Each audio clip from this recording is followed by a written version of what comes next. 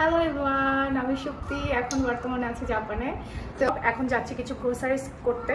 Groceries shopping মলে বাসার কিছু কেনাকাটা করব। তো ওটাই আজকে ব্লগ করব, তোমাদের সাথে শেয়ার করব। তোমরাও দেখে নাও জাপানের দোকানগুলো কেমন হয়। ঠিক আছে?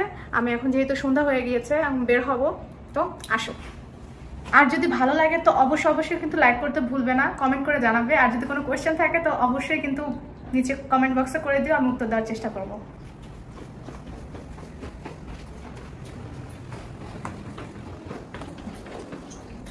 তো জাপানিজরা সুপার মলগুলোকে বলা হচ্ছে সুপার শপ। ওরা আর বলে না সুপার শপ, তো এটা হচ্ছে আমাদের বাসার অনেক কাছে একটা সুপার শপ আর কি। তো এটা চব্বিশ ঘণ্টা খোলা থাকে। এটাই হচ্ছে এই দোকানটা সব থেকে বিশেষ গুণ আমি বলব। কারণ রাত দিন চব্বিশ ঘণ্টা খোলা থাকে, এরকম শপগুলো পাওয়া একটু ডিফিকাল্ট থাকে, তাই না? তো এটা সারাক্ষণ খোলা থাকে এবং যখন তখন এসে কিন্তু শপিং করা যায়। কিউই। এটা একটা জাপানিজ ফল নাম হচ্ছে কিউই। তোমরা তো শুনতে পেলে এটা জাপানি আমি প্রথম দেখলাম। খেতে একটু টক টক। আমাদের বাসায় একটা পাকা দেখে কিউই ফল আনা হয়েছিল। ওইটা বেশি একটা টক ছিল না। এটা অ্যাকচুয়ালি টক ছাড়া। এমনিতে যে তোমার মিষ্টি হবে এরকম টেস্ট হয় না। জাস্ট একটু জল জল টাইপের ফলটা। ওপরে যে তোমরা ছিলকা দেখো বা খোসা দেখো এটা খুলে খেতে হয়। ভেতরে ছোট ছোট বীজ থাকে। ওগুলো দাঁতে পড়লে একটু কেমন যেন লাগে। আর এখানে কলা বিভিন্ন দামের ছিল। তো কলাটা হচ্ছে একটু কাঁচা দেখে নিতে হয়। এখানকার ফলমূল শাকসবজির বিবরণ যদি আমি দিই এখন পর্যন্ত আমার জাপানের এক্সপিরিয়েন্স খুবই ভালো। এখানে শাকসবজিতে কোনো পোকা নেই পচা নেই কোনো তোমার চাপ খাওয়া নেই আমাদের দেশে তো ফল সাত দিন, আট দিনে কিছু হয় না, কিন্তু এখানে হচ্ছে ফল, মূল সব হচ্ছে ফ্রিজে রেখে দিতে হয়। ইভেন কি ফ্রিজে রেখে দিলেও অনেক সময় কিন্তু অসুবিধা হয়ে যায়, সেটা এখানে শীতকালে হচ্ছে পোড়াই, ওটা এখন নাই শীতকালে পাবা, মজা লাগে খাইতে। এখানকার মিষ্টি আলুগুলো আমাদের দেশের থেকে অনেক বড় বড় হয় এবং মিষ্টি আলুগুলো হচ্ছে ওই সিজনাল যেটা ও বলছিল যে হচ্ছে ঠান্ডার সময় নাকি খুব ভালো পাওয়া যায়। তবু আমি বলব যে এটাও খুব মিষ্টি। মানে এখন যেটা আমরা খাচ্ছি, আর এখানকার বেগুনগুলো, আমাদের দেশের বেগুনগুলো তো হচ্ছে অনেক বড় বড় থাকে, গোল গাল থাকে। তাই না? নাদুস নুদুস। এখানকার বেগুনগুলো অতটা নাদুস নুদুস না হলেও ট্রাস্ট মি বেগুনগুলো এত ভালো। বেগুনগুলোর ভেতরে বিচি একদম ছোট ছোট বিচি পাওয়া যায়। কিন্তু এমনও হয় যে বিচি থাকেই না। মনে হয় ভিতরে কোনো মানে বেগুনের যে কোনো বিচি থাকে, এরকমটা আর কি এখানকার বেগুন না- দেখলে হয়তো বুঝতে পেতাম না। একদম ফ্রেশ থাকে, ভেতরে সাদা থাকে। এবং বেগুন বলো, আলু বলো সব কিছু এত তাড়াতাড়ি সেদ্ধ হয়ে যায়। এবং আমি যেটা বলছিলাম যে আমাদের বাংলাদেশে তো সাত দিন, আট দিনে ফল, শাক, সবজি মানে কিছু হয় না। কিন্তু এখানে ফ্রিজে রেখে দেওয়ার পরেও স্পেশালি আমি তরমুজটার ক্ষেত্রে দেখেছি, তরমুজটা যদি এসে সঙ্গে সঙ্গে একদিন ম্যাক্সিমাম দুই দিনের মধ্যে খেয়ে ফেলা না হয় তাহলে একদম নষ্ট হয়ে যায় কেমন যেন একটু ভিজে ভিজে ওঠে। আর এটা তোমরা দেখতে পাচ্ছ এটা হচ্ছে আমি তুলেছিলাম পর্ক পর্কের হচ্ছে ডিম মাংস এরকম ছিল আমি জানতাম না। এটা জাপানিরা খুব খায় বুঝছ? নাত্তো। না এটা হচ্ছে সয়াবিনের মধ্যে কি দিয়ে দেখলে ঘৃণা লাগে আমার। ঘ্রাণটা একদম বাজে বমি আসার মতো। আর জাপানিজ মলগুলোতে তোমার রেডিমেড খাবার খুবই খুবই কমন অনেক ধরনের রেডিমেড খাবার পাওয়া যায়। ভাতও পাওয়া যায়, ভাতের প্যাকেটও পাওয়া যায়। আমরা নিজেরাও কিনেছি যে মানে ভাতটা থাকে হচ্ছে জাপানিজ যে রাইসটা ওটা পাওয়া যায় এখানে। আর সব ধরনের রেডিমেড ফুড পাওয়া যায়। তো আমি যখন প্রথমবার আর কি বাজারে যাই, তখন এরকম দুটা তিনটা এরকম পেয়ার দেখে আমি একটু অবাক হয়ে গিয়েছিলাম যে ছোট ছোট জিনিস এত অল্প অল্প পরিমাণে বিক্রি কেন করে? আমাদের বাংলাদেশে তো অনেকগুলো করে, আধা কেজি, এক কেজি মানে ধরো এক একটা কেজিতে হচ্ছে অনেকগুলো করে জিনিসপত্র, সবজি উঠতো। তা আমার হচ্ছে এটা একটু অবাক লেগেছিল। যেমন দেখো যে এক একটা মানে থলেতে রসুন হচ্ছে দুই, দুইটা করে। দুইটা রসুন, তো আর এগুলো হচ্ছে মাশরুম, ঠিক আছে? মানে বিভিন্ন ধরনের মাশরুম আছে। তো আমি ভেবেছি যে এতটুকুতে কি হয়? আর এখানকার টমেটো, টমেটোগুলো এত মজা চেরি টমেটো মানে বাংলাদেশের মতন বড় বড় টমেটোগুলোও পাওয়া যায়। ওগুলো আরও চিপ, এগুলো একটু এক্সপেন্সিভ বাট এত মজা। এই যেটা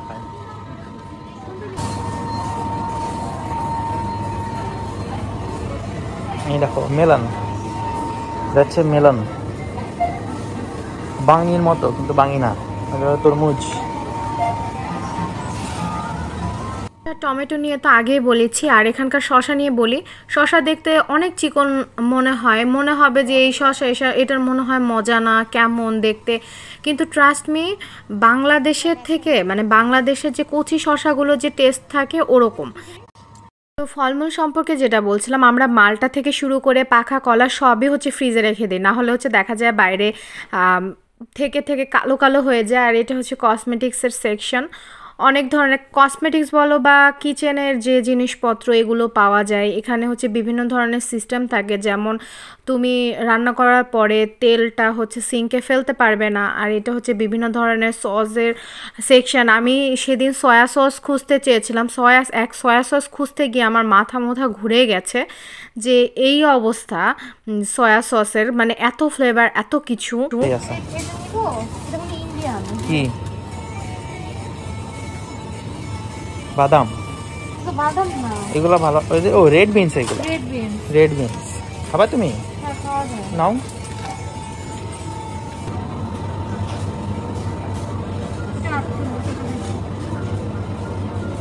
থেকে নাও। আচ্ছা এটা খাই দেখি কেমন হয়।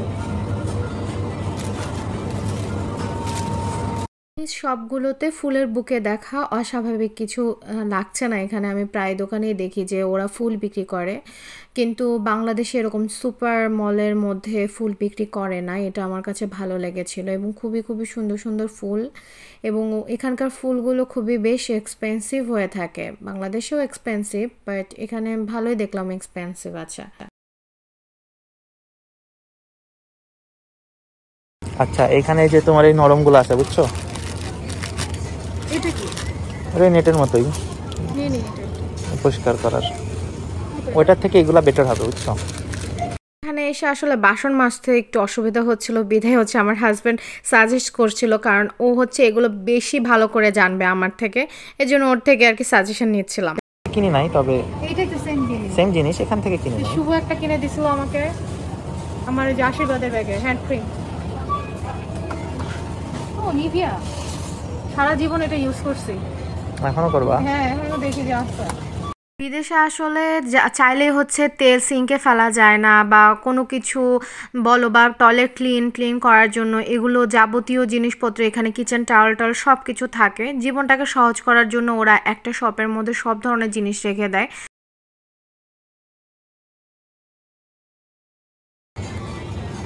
যে মাস্টার সস এটা অনেকক্ষণ ধরে খুঁজতেছি কিন্তু ফাইনালি আমি পেয়েছি ফাইনালি চুক্তি পেয়ে গেছে। এখানে মাস্টার্ড লেখা দেখে। এটা একটা খুঁজছিল গ্রিন অলিভস খাবা? আছে তো বাসায়। টুনা টুনা শেষ না টুনা একটা ক্যান আছে মনে হয় বাসায়। হ্যাঁ এগুলো অনেকদিন থাকে। ক্যানের জিনিসপত্র অনেকদিন থাকে। এখানে সব আচ্ছা ক্যান নাও কি এটা? সস না দেখে নিন তো। সসটা সব এইখানেই থাকবে। সব টাকোস মাকোস তোমরা হয়তো ভাবতে পারো আরে মাস্টার সস নিচ্ছে টমেটো কেচাপ নিচ্ছে, এগুলো দেখানোর কি। অ্যাকচুয়ালি এখানে সব জাপানিজ ল্যাঙ্গুয়েজ এখান থেকে ইংলিশ তো পাওয়াই যায় না। সো কোনটা যে কি? সয়া সস ব্র্যান্ড ইভেন কি ব্র্যান্ডের নামও বোঝা যায় না। তো সেই জন্য হচ্ছে আমরা এক একটা জিনিস উদ্ভাবন করে মানে খুব খুশি হচ্ছিলাম লাইক মাস্টার সস বলো, টমেটো কেচাপ। টমেটো কেচাপ নিয়ে যেটা হলো, তোমরা দেখলে, টমেটো কেচাপ তো, তোমরা তো দেখলে যে টমেটো কেচাপ আমি একদম খুঁজে পেয়েছি, নিয়ে নিয়েছি। বাসায় এসে কি দেখি জানো? বাসায় এসে দেখেছিলাম, এটা টমেটো পিউরি নিয়ে এসেছি আমি বাসায়। একদমই কেচাপ ছিল না, টমেটো পিউরি নিয়ে এসেছি। এবং তারপর কি করব, মাছ দিয়ে এটা সেটা দিয়ে হচ্ছে রান্না করে খেয়ে শেষ করতে হচ্ছে। এই হচ্ছে থাকে হচ্ছে জাপানের অবস্থা। ল্যাঙ্গুয়েজ যেহেতু জানি না গুগল ট্রান্সলেটর অবশ্য আমরা ইউজ করি বাট তারপরে হচ্ছে সবসময় তো সব কিছু ট্রান্সলেটও ঠিক করে করতে চায় না। আফটার অল গুগল আর এখানে প্রচুর আইসক্রিম এই সবগুলো দেখতে পাচ্ছ যে আইসক্রিম তারপর ধরো ফ্রোজেন যে আইটেমগুলো এগুলো। আইসক্রিম অনেক ফ্লেভারে থাকে, অনেক কিছু থাকে। তো কখনো আমার বড় ভাই বাংলাদেশ থেকে যদি আসে জাপানে অবশ্যই ওকে অনেক ধরনের আইসক্রিম খাওয়াবো। দাদা আইসক্রিম খেতে খুবই খুবই পছন্দ করে। আর জাপান তো টি এর জন্য খুবই বিখ্যাত। টি কফি এগুলোর জন্য খুবই বিখ্যাত। ওদের হচ্ছে টি এর জন্য আলাদা একটা সেকশনই থাকে। টি বলো বা কফি বলো। আর এখানে হচ্ছে রেডিমেড সব ধরনের খাবার পাওয়া যায়। মানে জাস্ট তুমি কিনবা, আর হচ্ছে খাবার সব রেডিমেড খাবার। লাঞ্চ ডিনার এখান থেকে কিনে নিয়ে যায় হ্যাঁ।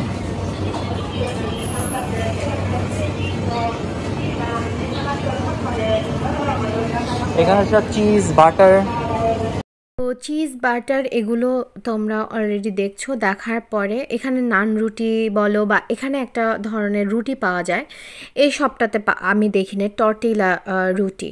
মানে রেডিমেডই থাকে জাস্ট তোমার শেখলে হয়। এত মজা ওটার ভিতরে নাকি আমার হাজব্যান্ড বলেছিল যে ভিনেগার দেওয়া ছিল। অনেক অনেক মজা। ওটা তোমাদেরকে আমি বলব আস্তে আস্তে। আর এখানে দেখো কেবল দেখছি যে ফ্রেশ চিকেন এসেছে। যখন চিকেনটা এসেছে তখন মনে হচ্ছিল যে আচ্ছা মানে ফ্রেশ যখন একদমই এখন এসেছে, তো আমরা তখন চিকেনটা কিনে নিয়েছি। আর টর্টিলার গল্প যেটা বলছিলাম, একটু ভিনেগার দেওয়া থাকে। প্রথম যখন আমার হাজব্যান্ড খাচ্ছিল, একদিন বলছিল কি যে, তুমি একটু খেয়ে একটু টেস্ট করে দেখো, খুবই মজা। আমিও খেয়ে দেখলাম, ভীষণ ভীষণ মজা। এটা এখন আমাদের দুজনের খুব ফেভারিট আর এগুলো দেখো কফি সেকশনে এই পাশে পাউডার কফি ইনস্ট্যান্ট তো ওরা হচ্ছে দেখি যে ড্রিঙ্কস হিসেবেও অনেকের হাতে দেখি যে গ্রিন টি থাকে টি এর মানে কোল্ড টি ওরা কোল্ড গ্রিন টি খায়। সবসময় যে গরম খায় এরকম না। ড্রিঙ্কসের মতন হচ্ছে তোমার বোতলে ভরা থাকে ওগুলো খায়। আর এই- এগুলো হচ্ছে বিভিন্ন ধরনের মাছ। হালকা ভাজি করলে? খাবা? নিতে পারো। তুমি চিংড়ি শুটকি খাবা নাকি বলো? এগুলো কি ফ্রিজে রাখতে হবে? হ্যাঁ এটা ঠান্ডায় রাখা আছে তো। এবার জাপানিজ ফিশ সম্পর্কে বলি। এখানে ও যেটা দেখাল ছোট ছোট গুঁড়া গুঁড়া মাছ এগুলা এত মজা। পেঁয়াজ মরিচ দিয়ে তুমি যদি ভাজো একদম আমাদের বাংলাদেশে কাচকি মাছ সেরকম টেস্ট এই যে বড় বড় চিংড়িগুলো এই- এই পাশে ওই যে নিচে দেখো। হ্যাঁ এগুলো। এগুলো রান্না করছ। এগুলো রান্না করছিলাম। ভেজে আরও ছোট হয়ে গেছে। এই দেখো এখানে হচ্ছে খোসাওয়ালা বাট এগুলো আরও বড় হয়েছে। আর এখন এই যে মাছটা দেখছ, এটা খেতে একদম ইলিশ মাছের মতন ফ্লেভার গন্ধ বলো বা টেস্ট একদম ইলিশ মাছের মতন। এত মজা মাছগুলো। তো আর স্যামন ফিশ নিয়ে যদি বলি স্যামন ফিশ তো মানে এত এত মজা। মানে বাংলাদেশে রুই মাছের মতন একদম টেস্ট খুবই ভালো লেগেছে আমার জাপানে এসে মাছ খাওয়ার অভিজ্ঞতা। মানুষ যদি বলে যে, না, বিদেশে তুমি মাছ খেতে পারছ কি পারছ না? আমি বলব, আমার কোনো প্রবলেম নেই। আর এখন তো অলরেডি দেশি মাছ এখানে পাওয়াও যায়। বিভিন্ন বাংলাদেশি দোকান খুলেছে, তারপরে ধরো যে বিভিন্ন পেজ আছে, ওখান থেকে আমরা বাংলাদেশি মাছগুলো অর্ডার দেই এবং খাচ্ছি। খুবই খুবই ভালো। পাবদা মাছটা স্পেশালি খুব ভালো পাওয়া যায়। তো আমি বলব এখানে মাছ, মাংস, ডিম, দুধ সব ফ্রেশ এবং ভালো পাওয়া যায়। এগুলো হচ্ছে সব স্যামন ফিশ তোমরা দেখতে পাচ্ছ। এটা এটা দেখো এই যে, এটা হচ্ছে ওই অক্টোপাস অক্টোপাসটা দেখলে একটু গায়ের মধ্যে কেমন কেমন লাগে। তো জাপানে এসে তোমার হচ্ছে যে, জাপানিজদের মতন খেতে হবে বা জাপানিজদের মতন খাওয়া তুমি খেতে পারো না, ওরকম বিষয়টা না। তুমি তোমার মতনও রান্না করে খেতে পারবে। আর এটা হচ্ছে শুটকি মাছ মাছের সেকশনে এসেছি। আমি অলরেডি হচ্ছে তখন চিংড়ি শুটকিটা যে আছে ওটা নিয়েছে এবং আমি অলরেডি বাসায় খেয়েওছি চিংড়ি মাছের শুটকিটা অনেক অনেক টেস্টি আর এখানে তো ধরো জাপানিজ দোকানগুলোতে আমাদের দেশে যেমন চ্যাপা, শুটকি এরকম পাওয়া যাবে না। এটা ধরেছে যে এটা লইট্টা শুটকি ছিল। দেখতে দেখতে আজকে শপিং টুকটাক করে শেষ করে দিলাম। এখন এসেছে হচ্ছে বিল পে করার জন্য। এটা আমাদের সেলফ সার্ভিস ছিল। তো আমার হাজব্যান্ড শিখিয়ে দিচ্ছিল কীভাবে নিজে নিজে বিল পে করতে হয় কার্ডের মাধ্যমে।